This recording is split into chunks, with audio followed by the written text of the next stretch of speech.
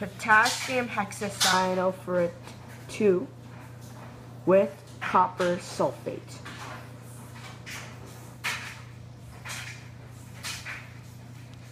Potassium hexacyanoferrate 2 is in the dropper, and the co- copper sulfate is in the beaker in a solution.